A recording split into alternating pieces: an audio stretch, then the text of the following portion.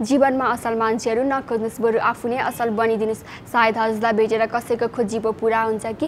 नमस्कार एवं न्यानो अभिवादन। म यस मिस्टिन दुई हजार अठारकी प्रतियोगी अङ्क एघार रिजु देउजा। नेपालकै पूर्व क्षेत्रमा पर्ने इटालीलाई प्रतिनिधित्व गर्दैछु। मलाई फुर्सदको समयमा नाच्न भलिबल खेल्न र उपन्यास पढ्न असाध्यै मनपर्छ।